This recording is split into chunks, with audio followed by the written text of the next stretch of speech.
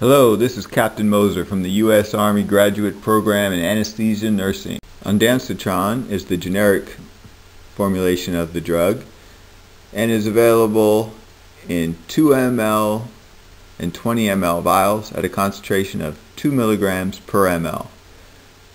Zofran is the original trade name which was marketed by GlaxoSmithKline and is also available in 2 milligram per ml vials. It's also available in the oral form in 4 milligram and 8 milligram tablets. Ondansetron is a carbazolone derivative that is structurally related to 5-HT, or serotonin. It possesses specific 5-HT3 subtype receptor antagonist properties. This makes Zofran a selective 5-HT3 receptor antagonist which prevents binding by serotonin to the 5-HT3 receptor, particularly those found in the vomiting center and the chemoreceptor trigger zone. Certain types of surgery, anesthetics, and chemotherapeutic agents may release serotonin from enterochromaffin cells in the small intestine. The binding of serotonin to 5-HT3 receptors at the chemoreceptor trigger zone, the GI tract, and the vomiting center is believed to cause vomiting and or nausea.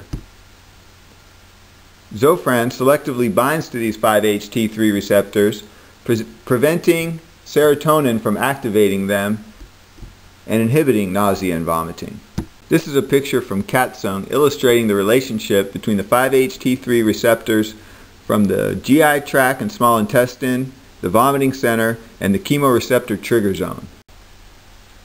Nausea and vomiting occur when afferent signals from the small intestine, vestibular system, or vomiting center reach the chemoreceptor trigger zone in the area postrema of the fourth ventricle. Surgical manipulation and or certain anesthetics cause the release of serotonin from chromaffin cells. Serotonin binds to 5-HT3 receptors in the small intestine or vomiting center. The binding of serotonin to 5-HT3 receptors opens ligand-gated ion channels.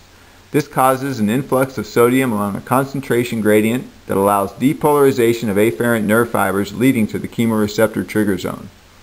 This results in the sensation of nausea or the occurrence of emesis. Ondansetron is believed to block the 5-HT3 receptor from binding with serotonin. This inhibits the sodium influx that would lead to depolarization of the afferent sensory nerve that stimulates the chemoreceptor trigger zone. Zofran initially rose to fame as an adjunct to chemotherapy. For the prevention of chemotherapy-induced nausea and vomiting, a single 32 milligram dose is administered at least 30 minutes prior to the induction of the chemotherapeutic agent. For anesthesia purposes, one 4 milligram dose is typically given at least 30 minutes prior to emergence. It takes approximately 20 to 30 minutes for Zofran to have its effect. Therefore, administration should coincide with onset to prevent postoperative nausea and vomiting on emergence and in the recovery room. Peak times for Zofran vary but are typically thought to be around 2 hours. Its half-life is 4 to 8 hours with a clinical duration of 12 to 24 hours.